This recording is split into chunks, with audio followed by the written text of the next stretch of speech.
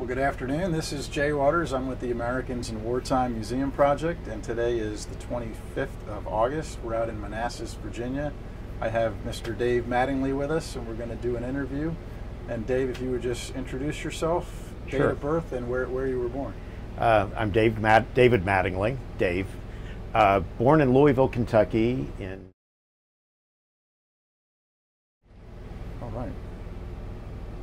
And uh, what, what conflicts did you participate in? well, I joined the Navy at the very end of the Vietnam conflict. The uh, U.S. had signed the peace treaty uh, with Vietnam, actually the day af- day before my my birthday.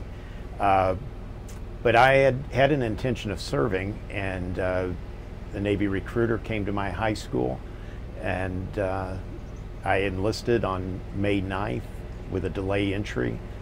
So I got to spend the summer at home after my high school graduation, and then reported uh, to Great Lakes for boot camp on November 1st of 1973. Wow.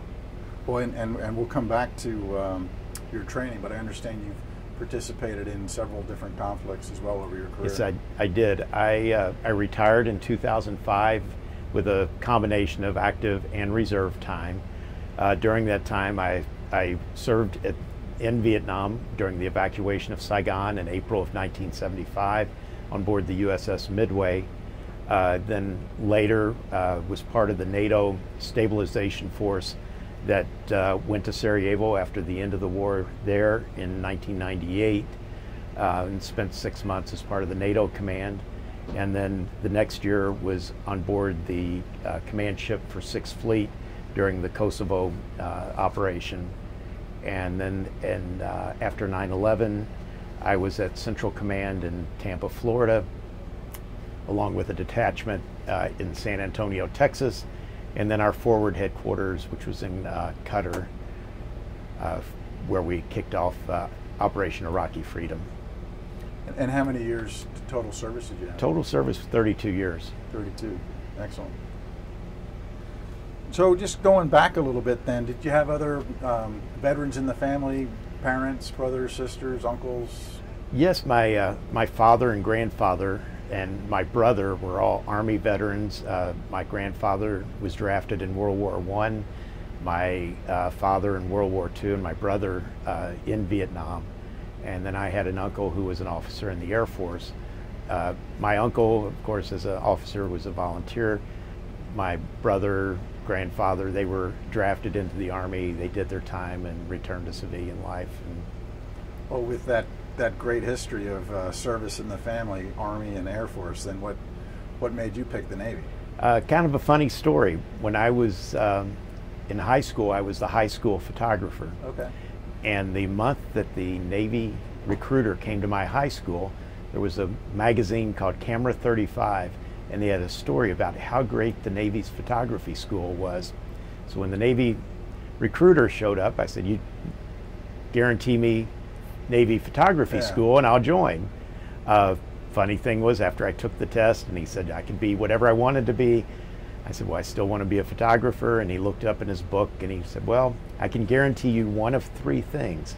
I can guarantee you photographer, I can guarantee you photo intelligence man, or I can guarantee you engineer's aide. But don't worry, you've been the high school photographer, you'll get photographer. Uh, funny last words. Uh, joined, so I joined being guaranteed one of the three, and that with it in my mind that I've been the high school photographer, so I'll get to be a photographer.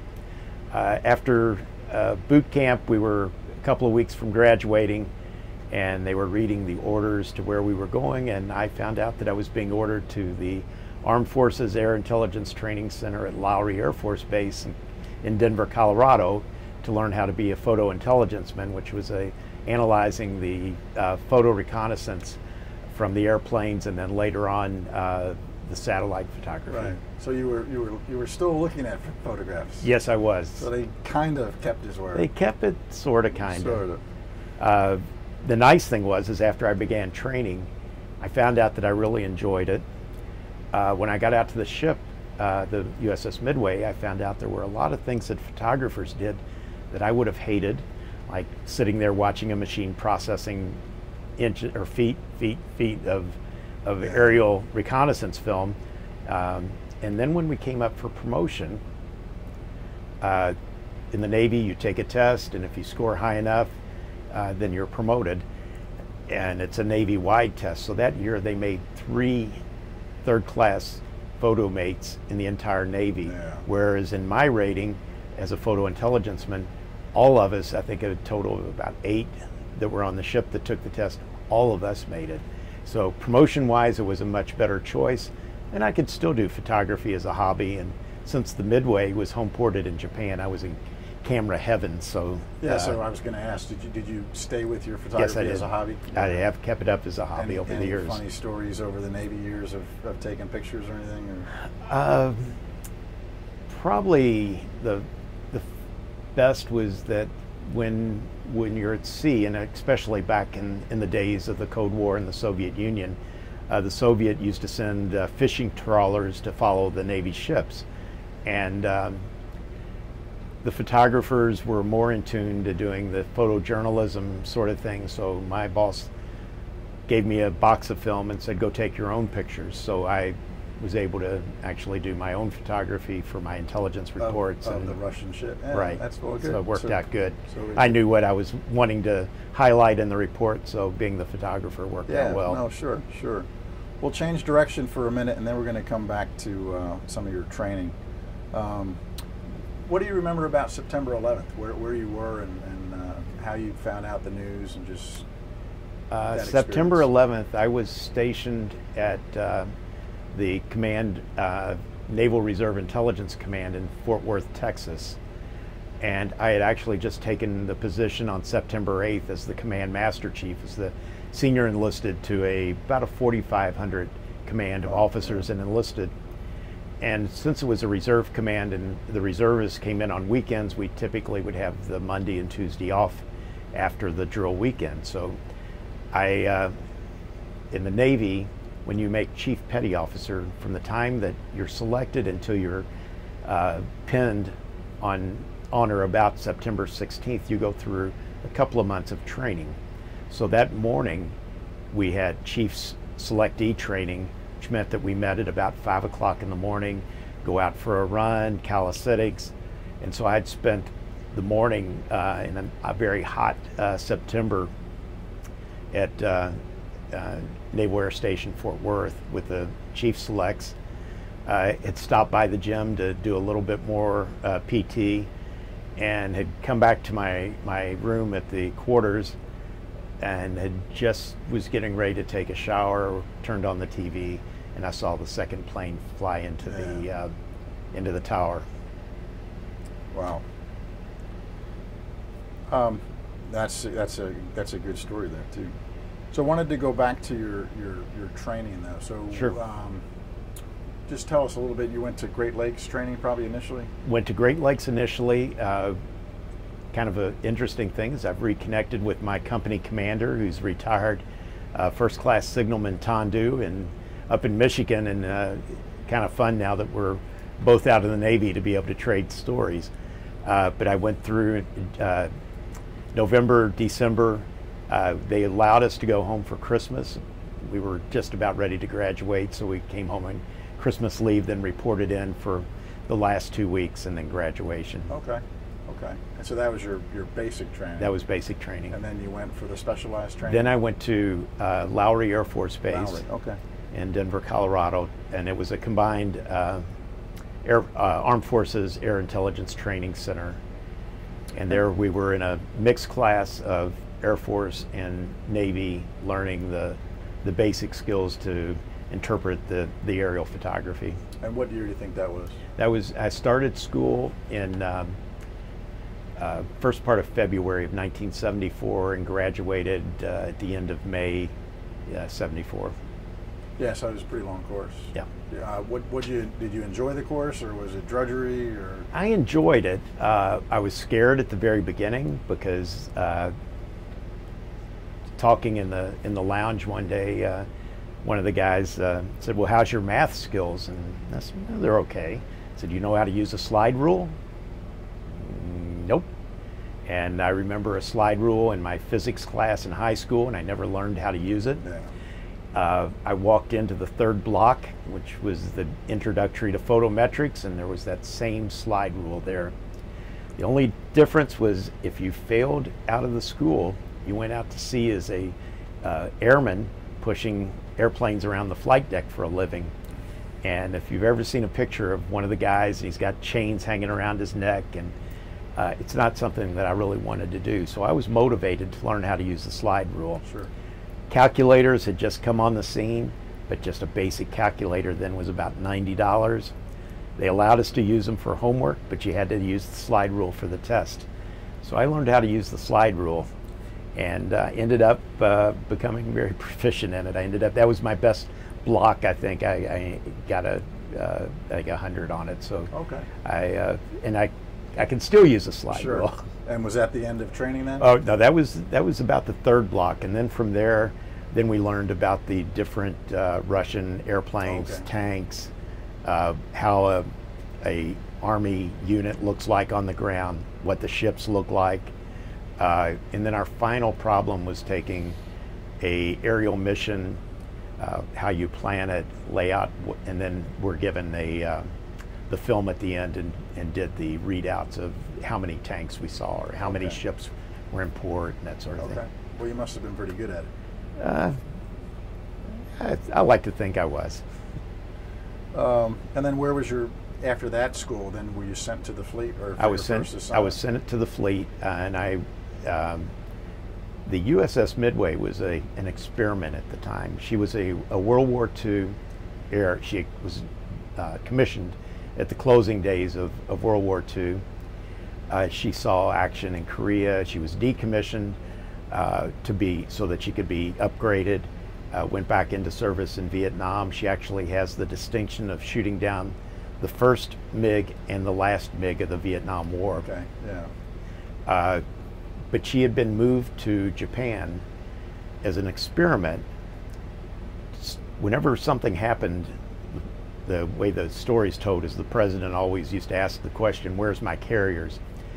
And by having a, a forward deployed aircraft carrier, it would cut down the travel time to get to where the action was. Right. So the idea was they were going to put one in the Pacific and one in Europe. The one in Europe never materialized, but the one in um, Japan was supposed to be a three-year trial, and now I think it's the fourth carrier is there, and she we still have a carrier home ported Still in Japan. Yeah. yeah. So uh, they were putting out calls to people that would like to be part of the crew, and I put that down on my dream sheet, and I got my choice. I, I went to Japan and uh, reported first part of June of '74. Okay. Well, and then we'll, we'll, we'll come back to the uh, evacuation of Saigon in a minute. But just over over the years, it, it, it seems you. I'm not perfect on Navy ranks, but you, you got promoted multiple times, uh, a lot I- of years of service. Were there any promotions that really stood out or something interesting on, uh, over, over the career there? Well, uh, I think the I had had left active duty after my first tour, and I returned to the University of Louisville because my well, what I my plans were to uh, use my GI Bill to get my degree, and then apply for a commission and go back on active duty. Uh, as I was coming close to graduation, I was coming up for chief petty officer, and being a chief in the Navy is very different than any of the other services. And I thought, well, I'll give it a crack, and I took the test, and I was selected on my my first time up. So I thought, okay, I'm going to see how being a chief was, and I found out that I enjoyed staying a chief, staying enlisted, and so I finished out the rest of my career as a chief. Uh, being a chief, though, at that time, I hit the Desert Storm period where there was a drawdown and promotions were very slow. So I was really becoming very uh, uh, uh, just kind of down that I hadn't been selected for senior chief, the next rank. When I was selected for for uh, senior chief, and I decided that I would do, I wouldn't wait that long for another promotion because I only had one left, And uh, the way that I saw to get around that was to go back to sea and get blue water under me. So I volunteered to uh, take a position on the Sixth Fleet, which was at that time headquartered out of a small fishing village in Gaeta, Italy, Yeah. and um, became uh, the uh, the leading chief in their intelligence division, supporting operations in the, the Mediterranean. At that time, the, the it was at the closing days of the Bosnian War. We were just putting Right. uh, putting troops uh, in to support the stabilization force, or before that, the implementation force. So that set me up then for my next assignment uh, with NATO in Sarajevo, Bosnia, as an intelligence officer, and that was a an eight month assignment uh, before coming back to the states. Then, Okay. Okay. And one thing about the Sarajevo is that's also where I was selected for Master Chief, and so I was pinned by an Army uh, colonel and a German Air Force lieutenant colonel. Wow. So and that's that, your pinnacle rank. that's that Navy. was my the highest rank. To, Yeah, well, so could- so let's just jump right into that. I was going to go Vietnam first, but let's just. So, what was your deployment like in addition to getting promoted there? Well, um, it was it was very different because I was used to working with Navy units, and not only was I working in a joint environment with the other U.S. forces, but I was also working with all the different NATO countries. So serving in a multinational command headquarters was was uh, was different, where uh, not understanding our rank structure and for an example uh, you would never an, an american officer would never address me by my first name. I would always be called master chief. But in the in the european tradition the officers called their ncos by their first name. And so that just some little nuances that make Yeah. the services different but it was a, it was an interesting experience uh, learned a lot about the conflict that I hadn't realized. Some of the uh, the atrocities that had been uh, committed by all three sides, and um, for that, I think that it, it left a an important part of of uh, how I would look at future conflicts when we got onto Iraq. And I, after I retired from the Navy, I did go back to Sarajevo and worked as a DoD civilian at the U.S. National Intelligence Cell there for two years. And um, part of that work led to the arrest of the last of the big war criminals. And they've both been convicted at The Hague, and I have some job satisfaction Yeah, okay, uh, seeing that seeing that they're in prison for the Yeah, rest of their like life. Milosevic. Yeah, and, uh, well, he he was uh, gone, and by the time I came back, Yeah. but uh, Bar- uh, Mladic and uh, Mladic, yeah. and uh, Karadzic. Yeah, yeah, and I mean, ironically, I'm, I'm reading right now a book that, that kind of tells the whole story of Yugoslavia's destruction, and then the Mm. Oh, haven't- interesting. yeah, haven't really gotten to the, the UN involvement because Right. they weren't involved. But but during your experiences there, did you get any like we had the media perspective, and I remember being attuned to that, but it wasn't covered that closely. Did you get a feeling though of what really was going on, or, or Yeah, I think a, at a lot of times is that all three sides use the media to tell their story the way they wanted their story told, and it was almost as if uh, events took place for their media impact rather than any other strategic or tactical uh, importance, but it was to get world opinion, try to get world opinion on their side. Yeah, and, and did you even see like where they were trying to influence their own people, the Serb atrocities? Well, or- and yeah, because the the the amazing thing about the country is that under Tito, the people lived next door to each other.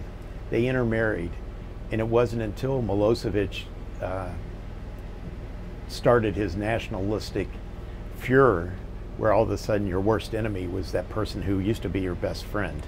right, yeah, a Serb or a Croat, or Yep. a, a- Yeah. Albanian, Kosovo. So, yeah, well then, so and we're kind of jumping around, but you also were, were involved in the Kosovo uh, Right. conflict. So, could you talk about that a little bit? Sure. I was on the Sixth Fleet staff again back in uh, in Italy, and uh, after Desert Storm, uh, the Tomahawk missiles became a very important part of the American Navy arsenal uh, because you could you could launch a missile that was very accurate without risking the pilots having to fly a mission. Uh, so what I was doing was uh, acting as a targeting officer. We had a list of targets that were had been approved by the president, and then we would look at them for whether they were a better target to be hit by uh, an airplane dropping bombs or whether uh, it was a, uh, a target that a missile would be better for. Uh, sadly, during that time is when we hit the Chinese embassy. Okay. Uh, the Air Force hit that that night, not the Navy. Uh, but Any behind- inside scoop on what was really going on I there? I really don't want to go into that one Yeah. uh, for classification reasons, yeah. and uh, Yeah, and just Yeah. and just uh, I know that when I had my picture taken from it in 2007, it was still empty, the Chinese embassy. Uh, the hotel that was struck the same morning by the Navy, uh, I had my picture taken in front of it. Uh, at that time was still under reconstruction, and it was uh, highlighted in a fri- um, uh, Kevin Costner movie. I think it was called uh, 30 Days to Live or something like that. But now, it- was this in, in, in Belgrade? That- Yes. and- okay. Yeah. So the yeah. So, yeah, we had taken a weekend trip to Belgrade and uh, visited the two locations. Well, and and I'm going off of memory, but I also kind of recall. I think it was during the Kosovo conflict. We um, inadvertently hit a train, a civilian train. Do you remember that? I believe so. Yeah. You- yeah. I you don't. have- I don't okay. have any. I don't remember that. Yeah. Yeah, I was going to ask you if you had any insight on. Uh, but what was your overall reflection on the, the Kosovo conflict? Uh, Kosovo, I think, got fueled because of the success that we uh, we found in, in the Bosnian campaign. The one thing that um, we seem to think that we could win a war by air, and in the long run, you can you can do it to a point, but eventually you have to put troops on the ground. The fact that we still have troops on the ground there that most people have probably forgotten proves that there's still a lot of things, a lot of things to work out in, in that part of the world. It seems like things are getting better, or we just don't hear about it anymore. I don't think that I think the Americans are focused on other parts of the world. I have friends in the State Department, like even, even in Sarajevo, their elections in Bosnia are coming up, and that's uh, from what I'm hearing, it's going to be an interesting election cycle, which seems like they all are nowadays. Yeah.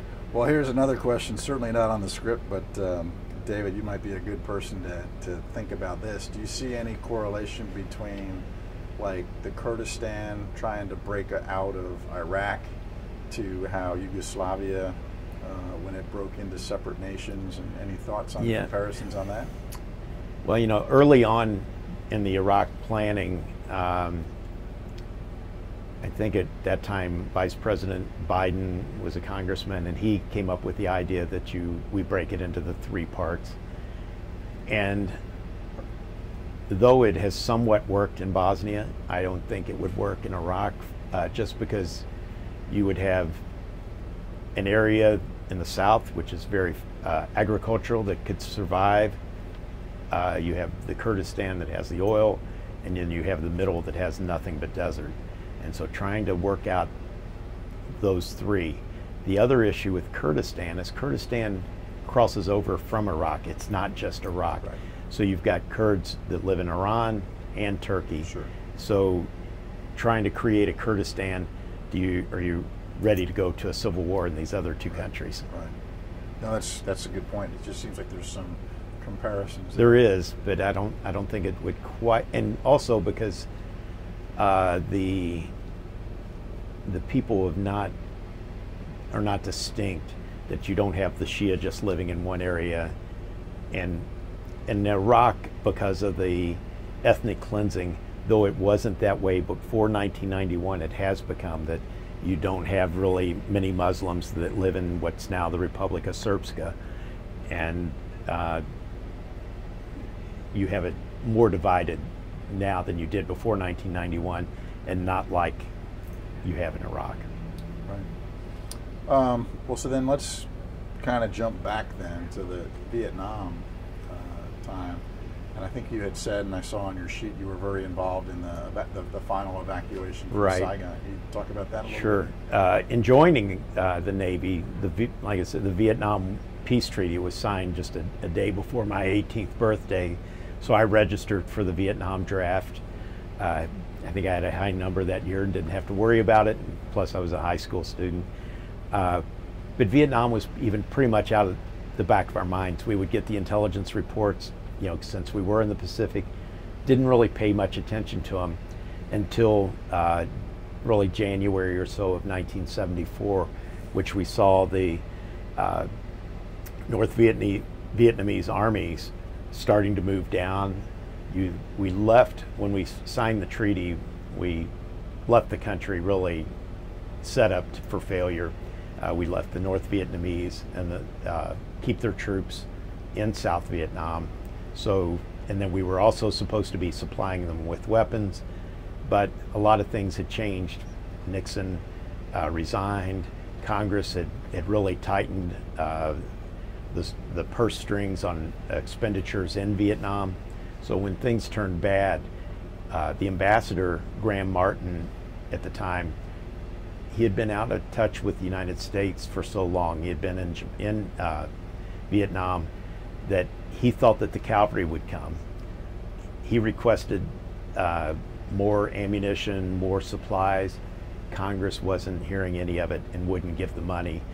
And especially, we weren't going to reintroduce troops into the war. Right. So we started paying attention because as they moved down, uh, it, the idea was that eventually North Vietnam was going to take over the country. We still had a lot of Americans living and working in uh, South Vietnam, and it was going to be up to the Navy to get them out if the Air Force couldn't do it. Right. Now, the Air Force did a heck of a job. They were flying C-5, C-41s into uh, Tan Son Nhut and bringing as many people as they could out. But Is that the Saigon area? that was from the Saigon area. But as the as the uh, North Vietnamese were coming down the coast, people were leaving the northern cities, Da Nang, and trying to get to, to uh, Saigon any way possible. They were loading up uh, merchant ships. Uh, there were some contracted airlines that were flying in. There was a famous picture of, a, of an executive of one of the uh, airline companies punching a refugee because the refugee wanted on the airplane and there wasn't any more room. They had to, they had to take off.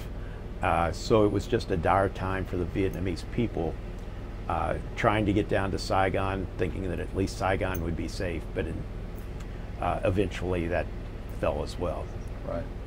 So you, were you then involved in the actual last days of the evacuation Yes, it was. of Saigon? Uh, so, besides Vietnam falling, uh, Phnom Penh, uh, the capital of Cambodia, Cambodia fell before Vietnam did. So, uh, when it fell, the Midway, we sat off the coast of Vietnam to provide air cover in the event that uh, things got uh, violent in uh, in Cambodia. After the evacuation of Phnom Penh, we uh, pulled into the Philippines to uh, for our normal uh, liberty. After three days in port, we found out we were going back to sea. Instead of going back to sea as a regular aircraft carrier, though, we only took a couple of fighters with us, and the rest of the air wing stayed in the Philippines. And then we went to uh, off the coast of Thailand. It's uh, town Sattahip, and then had uh, two detachments of Air Force CH-53 helicopters came out to the uh, Midway, and they were going to be our air wing for the evacuation. Okay. Uh, something that's different about Air Force helicopters compared to Navy helicopters. Navy helicopters are built so that our rotors can collapse and make room uh, on the hangar decks and flight decks. Air Force lands on land, they don't have to worry about that, so their rotors don't collapse. So we ran into an issue that when the evacuation eventually started, uh, the Air Force could only land on the Midway or another big deck carrier because if they had engine problems and had to go down, if she had, if the helicopter landed on a smaller boat, it would have fouled that deck and that ship would have been out of action then. So they would bring the refugees to the Midway. Uh, they would be interviewed, uh, their documentation, visas, uh, passports collected, searched uh, for weapons, and then they would be put on Navy helicopters and moved to another ship. Okay. So the Navy helicopters did more of the back and forth between the ships, whereas the Air Force and uh, the larger Marine helicopters would fly actually into Saigon to pick up pick up the you, refugees. you were almost a, a subway collection point. Exactly. Everybody comes in and then they get on smaller, out to the suburbs, so to speak. yeah, exactly.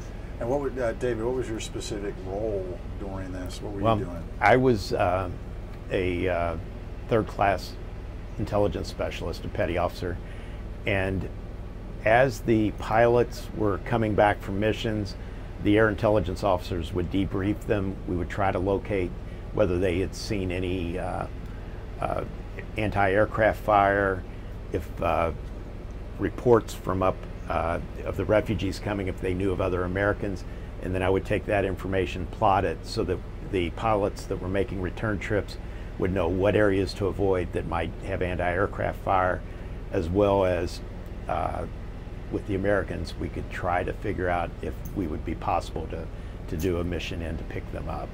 Yeah, so it was a it was a tactical operation, but it was also a humanitarian Yes. evac- Yeah. at, at the same time. Right. And you were doing. And Both. originally, when the uh, evacuation started, the code signal was playing White Christmas over Armed Forces radio service. And that was to let everybody know that they needed to be at a pre designated site Okay. for a bus to pick them up to bring them to the embassy. And uh, excuse my ignorance, but this was not Christmas time, so. No, this was in April, so April, it wasn't, so- wasn't Christmas time. So if they played White Christmas, that was your your Your warning your signal, code or your to, signal to come. get to a designated Yeah. point. Uh, it- no, no, go ahead, please. Well, the uh, the evacuation, like I said, had been done by the Air Force for uh, several days or weeks before they were flying in the larger airplanes. But uh, about April 27th or so, uh, the Vietnamese, uh, North Vietnamese, had fired uh, rockets into the airfield, putting uh, nice craters in the uh, field so that you couldn't bring a C5 or C40 141 Well, uh, fixed in- wing Intentional. intentionally, yeah, Yeah, To, to to force us into using the helicopters. So when we went to the helicopters, there were designated places where we could fly the helicopters in, the embassy being one, but also Nhut and some other uh, American offices around the, the city. And did the North Vietnamese target the helicopters, or They did they didn't. They they um, they really let everything run its course for about 36 hours. Uh, Graham Martin did not want to leave the country.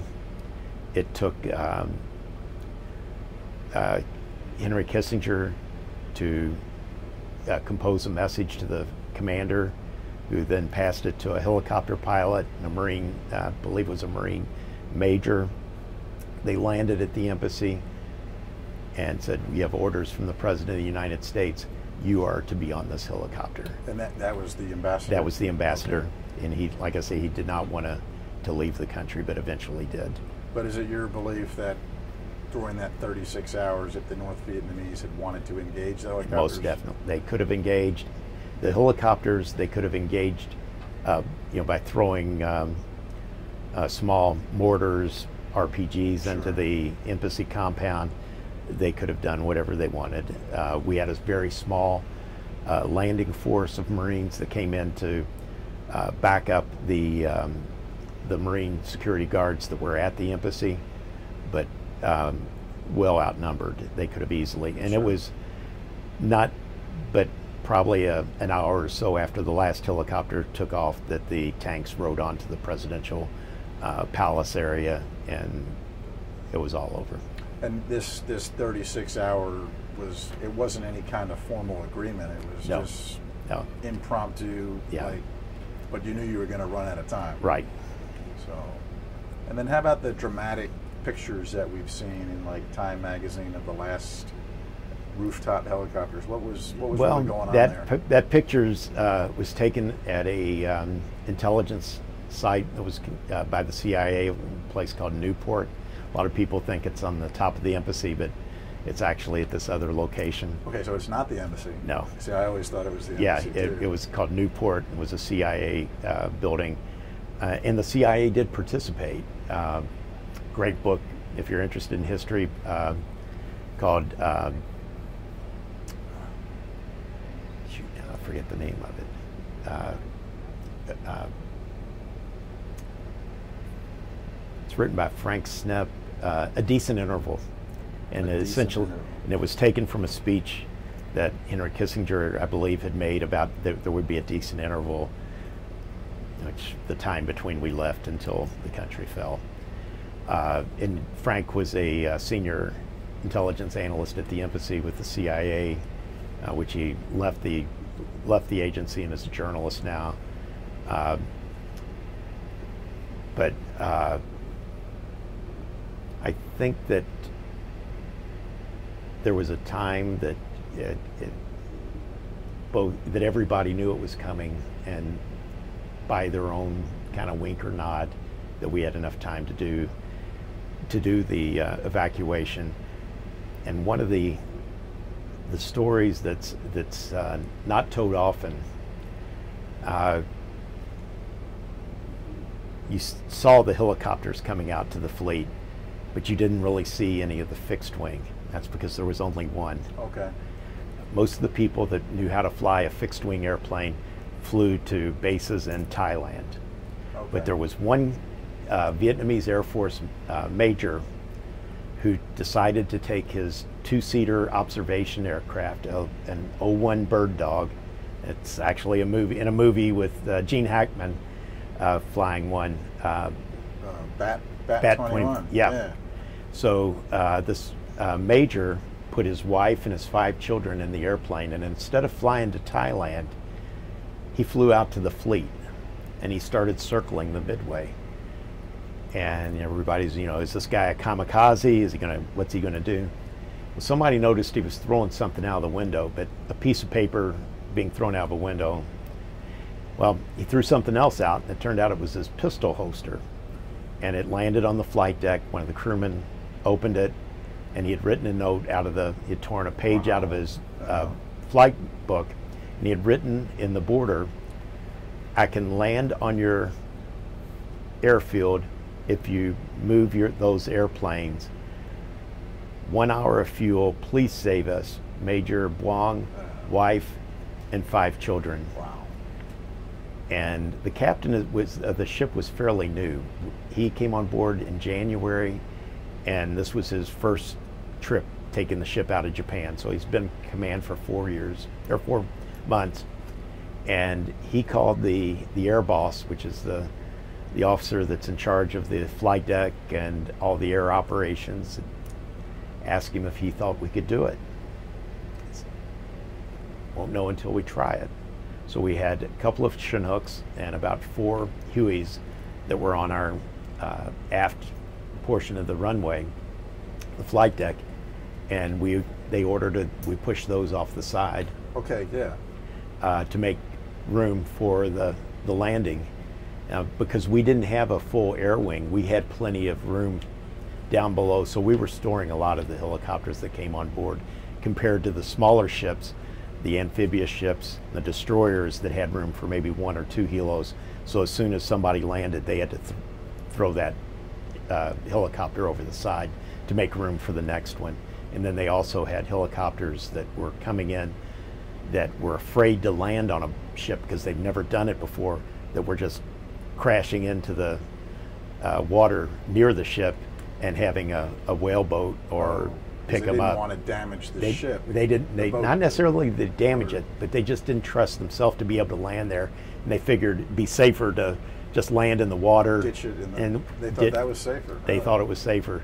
So what do there you were. think? Is that's Uh, if I had never landed on a carrier or on a small boat before, I think I probably would have taken the water. okay? But But But back to the uh, So the, we- the Vietnamese yeah. pilot. Yeah. So we pushed the uh, the, the uh, helicopters off the stern, made way to clear path for him. He came in and did his one and only aircraft carrier landing. He landed. We opened up the airplane, and yeah, he had seven people in a two-seater. Uh, his Wow. uh, the the plane was boxed up. It's now on display at the uh, National Naval Air Museum in Pensacola, Florida yeah. uh, for the 35th anniversary of the fall of Saigon. Major Bong, his wife, his children, and their grandchildren were on board the Midway, which is a museum now in San Diego.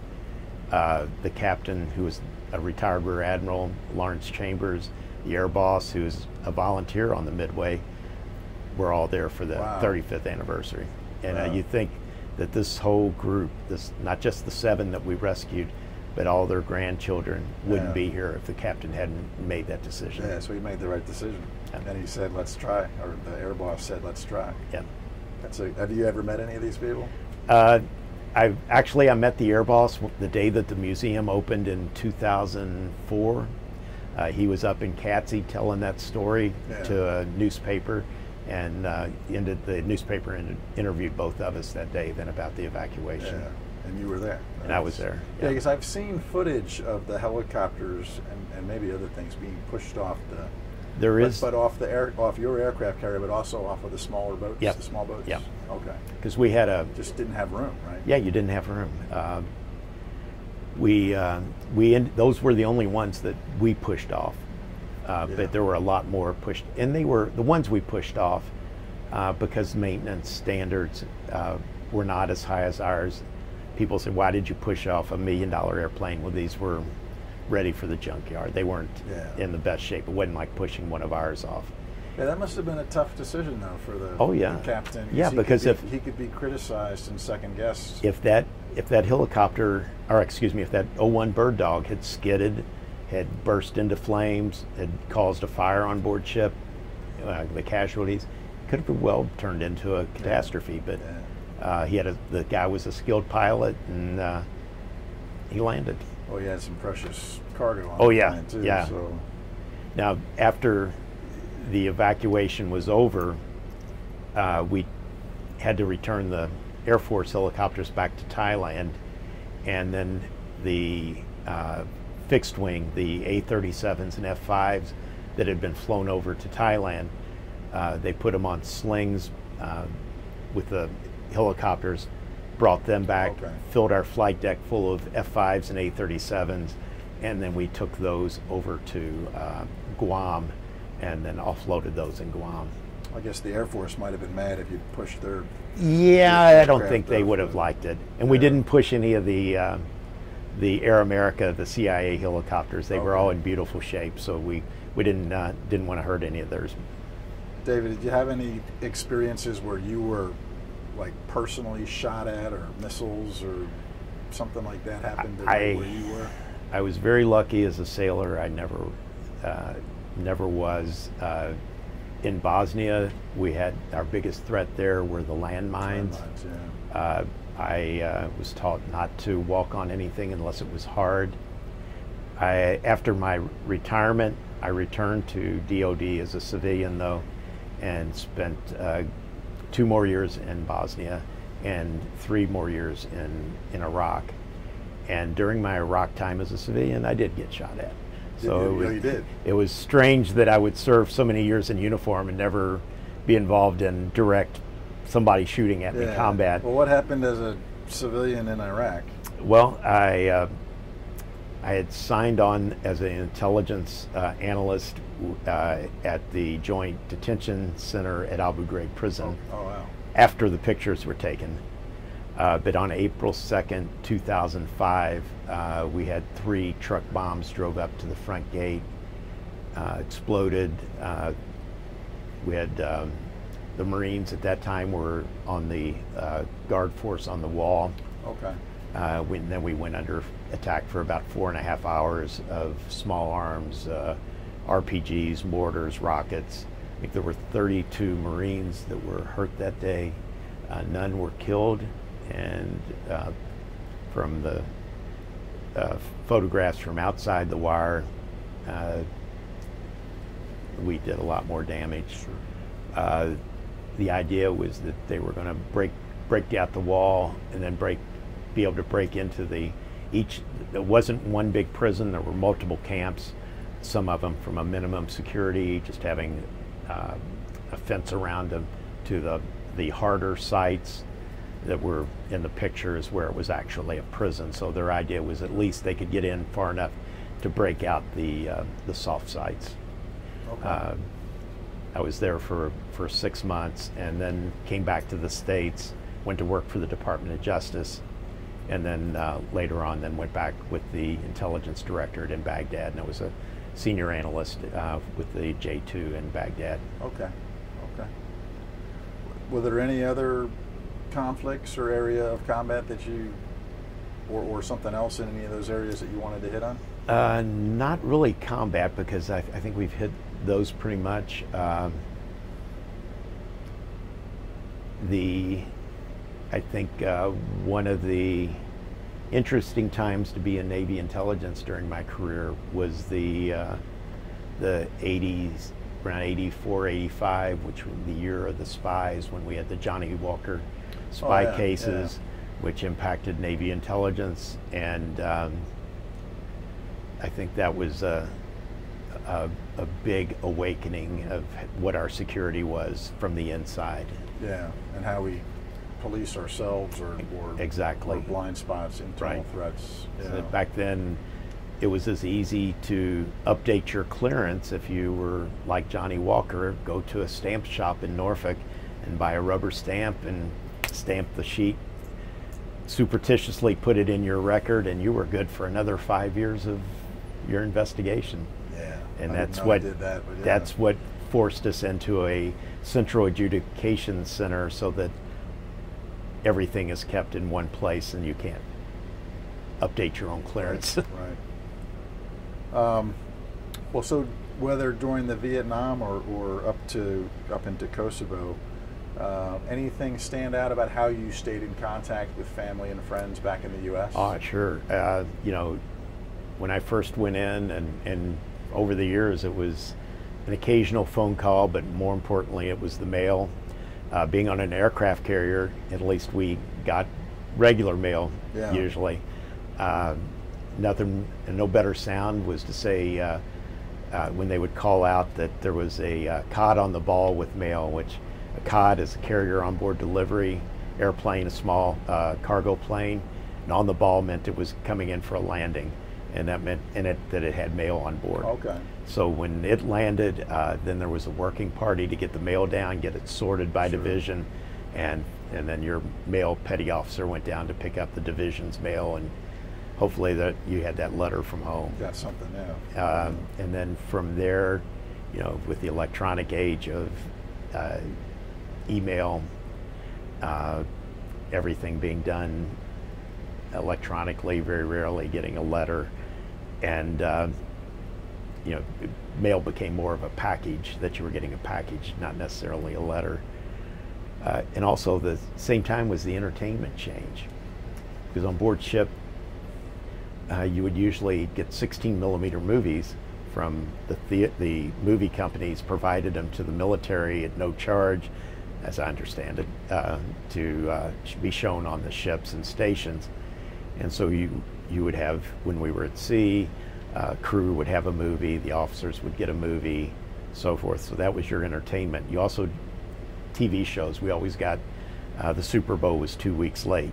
Uh, same way with you know ball games.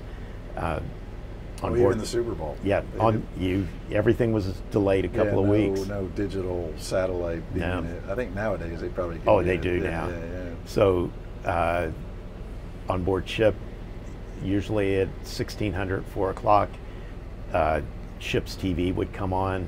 They would show uh, tapes received from the different uh, TV shows back in the States. I remember when Saturday Night Live first came out, we thought that was the strangest show. Uh, but it was fun.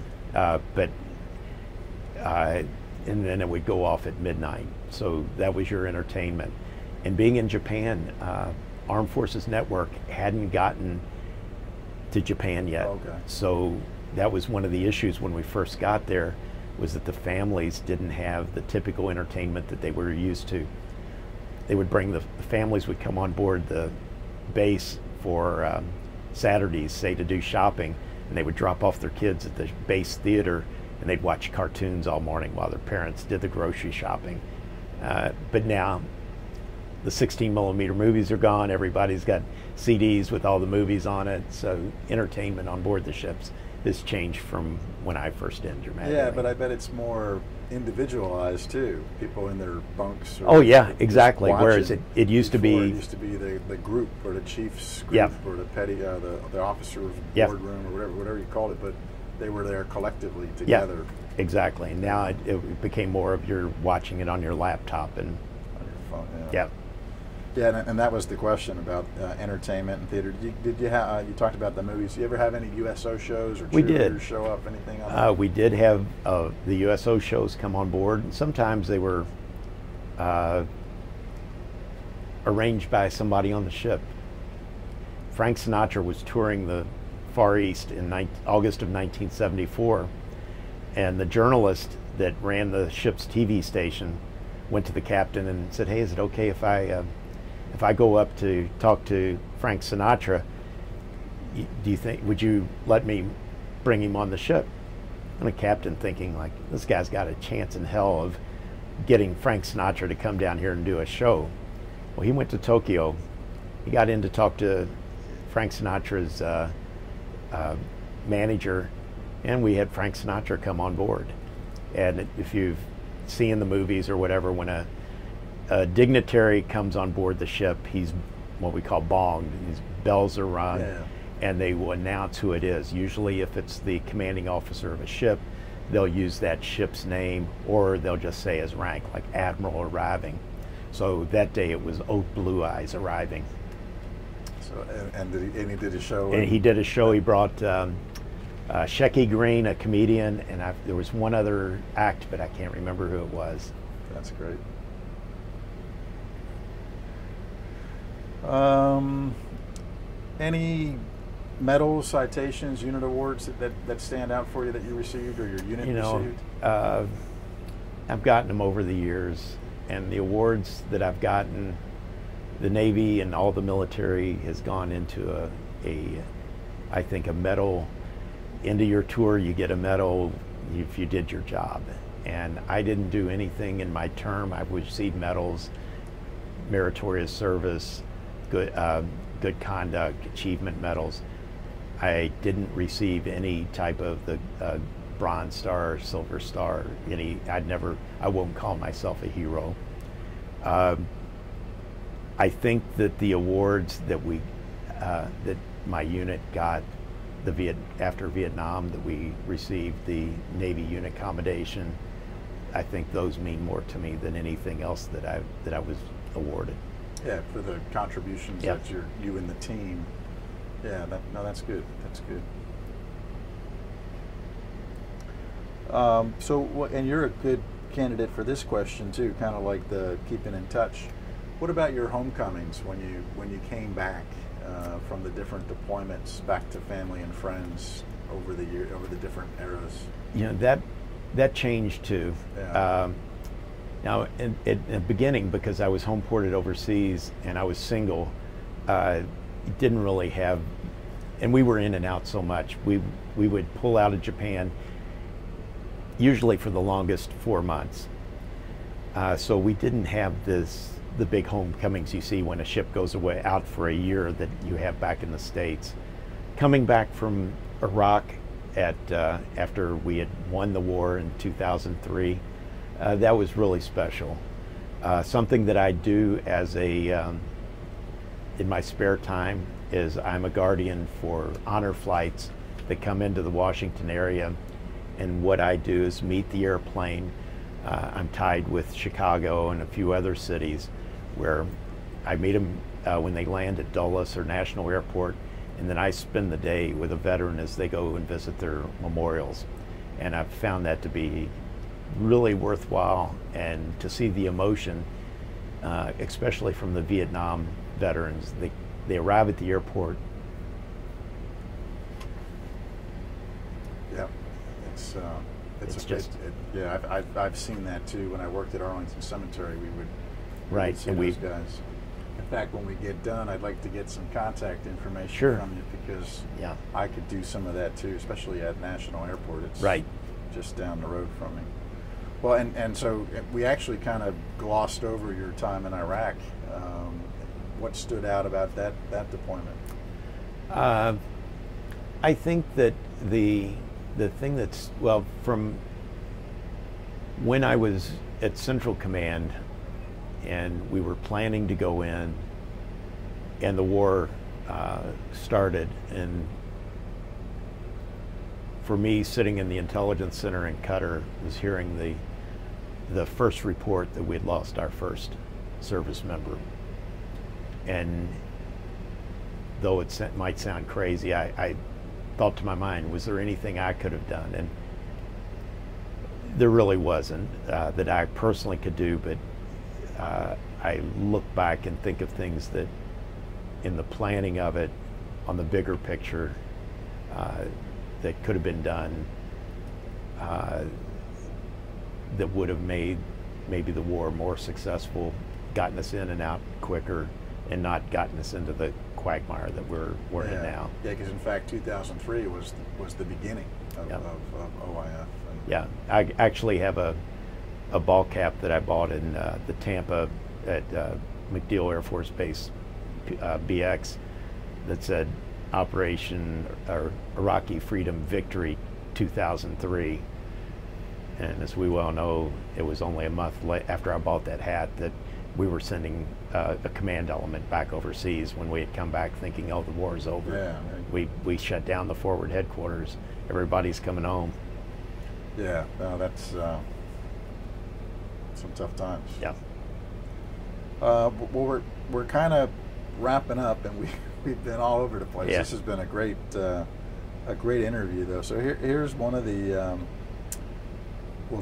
two two questions towards the end. What about the, just your overall wartime experience? How do you think that's affected you, especially like now, and and your your non-military career? Although you've been very closely affiliated with the military Um, the whole time, it seems like. I think that uh, because of my experiences in Bosnia and with the, the refugees from Vietnam, I look at uh, things somewhat differently than people who've never left the United States, uh, especially on the issue of, of, of immigrants. Uh, I look at the what these other nationalities are they're coming here for, the reasons they they're coming here. Uh, I had a neck operation in 2014 in Northern Virginia, and my anesthesist was a Vietnamese doctor, and I looked at her and I asked her, "When did your family come to the United States?" She was in one of the last fixed-wing airplanes coming to the United States. Wow. So I look at it as these people are coming here for a reason, and the reason is for our freedom. And I can't argue against that. And if they want to come here and I look at the contributions that they have to give to the United States, I can only say, come, we are the land of the free. And that- that's a good perspective. And meeting meeting somebody from the, like a second generation, maybe she was a child or her Yeah, she was a child at the time. yeah. Wow. And the neck operation worked out, I guess. Yeah, yeah. Um, as we're wrapping up, is there one thing that you would want, if you have children or grandchildren, that you would want them to know about you and your your, your military service, your wartime service?